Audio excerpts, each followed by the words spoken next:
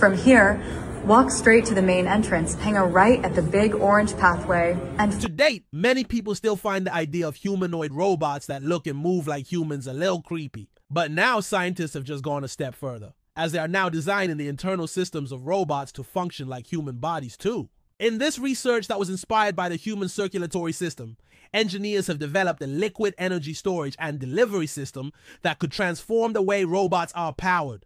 And before we get into how this amazing new technology works, don't forget to hit that like button and subscribe for more breakthroughs in science and robotics. So for those who follow in robotics, you know that powering mobile robots has always been a challenge. Traditional batteries are heavy, limiting a robot's mobility and performance while energy harvesting technologies like solar panels are inconsistent and can't keep up with the demands of high speed movement or power hungry functions. To tackle this problem, researchers at the University of Wisconsin Madison have taken a closer look at nature and specifically how blood carries oxygen throughout our bodies, just like how hemoglobin in red blood cells stores and delivers oxygen where it's needed. The team has created a liquid system that can store and deliver oxygen directly into a robot's energy system, increasing its efficiency, meaning robots can now have a longer runtime. So instead of relying on conventional methods where oxygen reacts only on the surface of an electrode, this new system injects oxygen directly into a special liquid electrolyte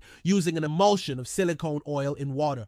This emulsion behaves similarly to blood. It holds much more oxygen than pure water and releases it more efficiently. With only 20% silicone oil, the emulsion can store twice as much dissolved oxygen compared to traditional potassium hydroxide solutions used in batteries today. That means more energy can be extracted from the same volume of liquid and reactions happen faster, allowing for more consistent and powerful energy delivery.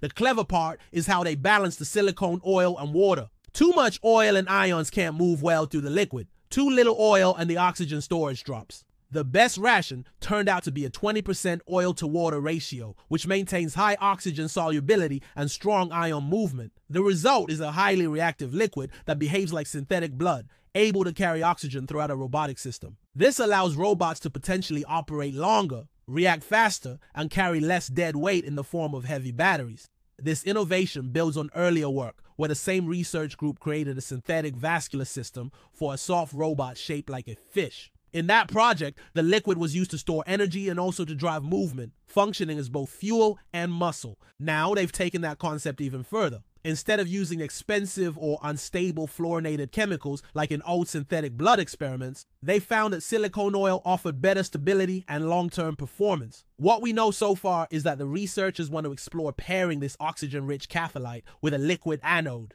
That means the entire power system, both positive and negative sides, could be made entirely of liquids, allowing for even more flexible and efficient robotic platforms. It's like giving robots their own artificial bloodstream, one that fuels them from the very air around them. This approach could be the foundation for lighter, faster, and more adaptive machines, making robots more human like.